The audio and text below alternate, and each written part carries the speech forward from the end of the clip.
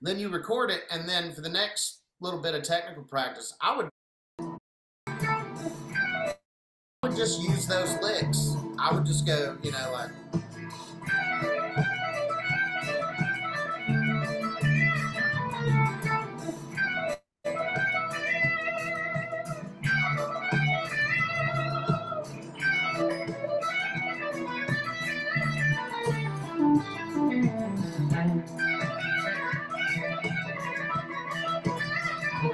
You know, and just try to use that lick. And like Okay. the thing about the thing about practicing stuff slow. Woo. Thing about practicing the stuff slow over the backing is you're you're giving your what it might seem like, uh, this is how fast I can play this lick, and I'm playing it real slow, and whatever.